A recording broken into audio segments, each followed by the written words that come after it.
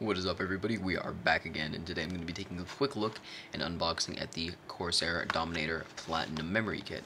Now know that these have been out for quite a while and that I've actually been kind of late getting them, but I actually wasn't able to find a, a relatively good priced set of 2400 megahertz mem uh, memory, which is what this kit is. They go anywhere from 1600 megahertz all the way up to I believe 2800, but that is a 64 gigabyte kit.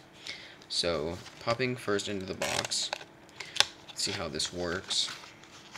Okay, so it just slides out. Okay, so let's see what they have to say on the box first. Um, Intel Core i7, I'm pretty sure that's the Extreme Edition that they're referencing. This is also XMP and other Intel Core series um, certified. This is an 8 uh, this is an 8 gig of DDR3. It's a 2x4.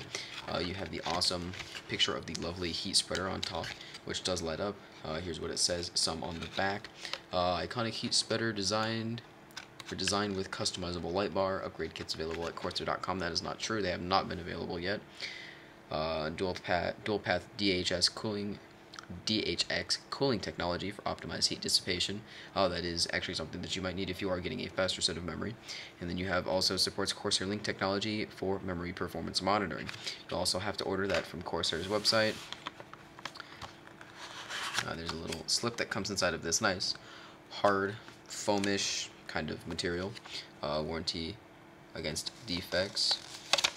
Uh, notification for Australian uh, consumers. I will not need that. Alright, so now let us take a quick look at the memory itself. Each one comes in, in its own individual little package.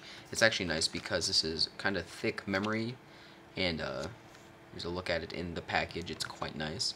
Uh, this is once again a 2400 megahertz kit. You can see that labeling right there. Here is both DIMMs. There are there's I don't believe there's anything else in the box because if you're buying this nice of a set of memory, I'm going to go ahead and presume that you know what you're doing. Um, so here, let's just take one of the DIMMs out. And this is a really heavy set of RAM too, even though it's only a two uh, two DIMM. So here we go. That's what it looks like. It's got this awesome black PCB, which you can just barely see. There you go. Uh, you can also see a little bit far past the heat spreader, which is always lovely. There's the heat spreader on top that says Dominator, which is very nice. It's kind of like pressed or onto the metal. I'm not exactly sure. There's your DHX. It kind of reminds me of the just the normal Dominator GT. There's your Corsair Link technology. You will have to order that uh, separately from Corsair on their website. Yep, this is a 2x 4 gig kit, which it gets labeling here. You get your 2400 megahertz. It is 10, 12, 12, 31 timing, and it is 1.65 volt, and this is version 5.12.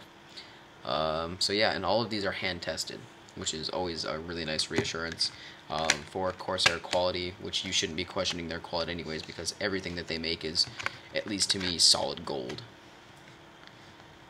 Especially their PSUs and their SSDs, even though I do not have either. But yeah, this is absolutely gorgeous RAM. I am. I would definitely buy this if you were looking to make a system based on aesthetics and just sheer speed because I think this is one of the only brands that you can get a set of 2800 megahertz memory off of. But yeah, if you guys want to pick these up, this kit of 2400 megahertz memory, it's a two it's a two DIMM kit. Both have Corsair link on them. You can get this kit, uh, you can get this kit for roughly I believe this cost me just under $135 with two-day shipping from Newegg. So anyway, that guys, so anyway, guys, that is the Corsair Dominator Platinum memory. I hope you guys enjoyed it. I really recommend picking up a set of these once again just because they look awesome and they run extremely cool. Um, so, I'll see you guys later. Check this out.